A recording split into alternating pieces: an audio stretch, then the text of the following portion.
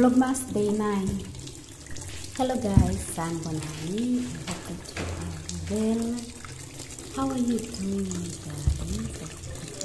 Fine okay um first of all can someone please tell me how do i get that green star the sea i've tried scrubbing it out but it's not going anywhere it's just looking at me and um, it doesn't look very nice so anyone with any tips kindly let me know secondly just a quick question.